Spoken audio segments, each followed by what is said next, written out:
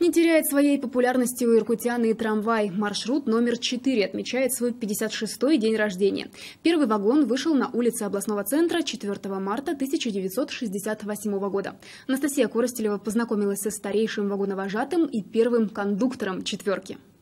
Любовь Васильевна – вагоновожатый со стажем. К 1968 году у нее за плечами накопился 30-летний стаж управления трамваем. Поэтому, когда 4 марта 1968 года из центра Иркутска в предместе рабочей запустили новый маршрут, ее, как опытного специалиста, назначили диспетчером. Знания вдвойне пригодились. На новом маршруте, получившем индекс «четверка», работала в основном молодежь. Легкий э, профиль считается, где нет больших уклонов и подъемов, где нет резких поворотов, в общем, и, конечно, где меньше машин.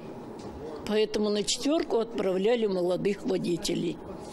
Но для них это, конечно, маршрут был не подарок. Контингент рабочим был такой, что они могли на любой остановке попроситься выйти. Попробуй, не открой.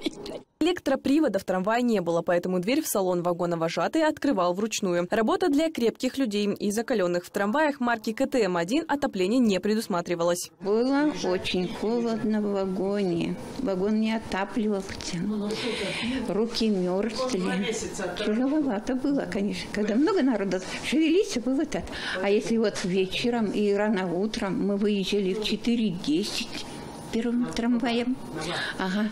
И в 12 часов заканчивали. Но даже такие условия работы в 68 году считались комфортными. В деревянных предшественниках КТМки, которые колесили по Иркутску с 1947 года, обстановка была еще более спартанской. Я еще захватила деревянная. То есть одна входная дверь. Дверь была на роликах. Можно пассажир любой заходит, отходит. Ну, в то время очень много было народу. Транспорта какой ходил? Только трамвай. Все деревянное. И окошечки были маленькие. Никаких форточек не было в то время. Современный трамвай далеко ушагал от своего предка. Сейчас даже кондиционер в салоне стал нормой. Неизменно одно – популярность. Только за год в вагонах проезжает около 20 миллионов иркутян. Сейчас, конечно, пассажиропоток немножко снизился. Все-таки э, тогда не было частных перевозчиков. Был трамвай, автобус, троллейбус. Только государственное предприятие. Вот, и поэтому тогда трамвай очень сильно выручал. И на четвертый маршрут, например, ходили только спаренные вагоны. После четверки в Иркутске запустили еще два маршрута – пятерка и шестерка. Они ездят до микрорайона Солнечный. Каждый день выезжают в областном центре 66 вагонов по шести маршрутам. Анастасия Коростелева, Иван Гоголев. Новости по будням.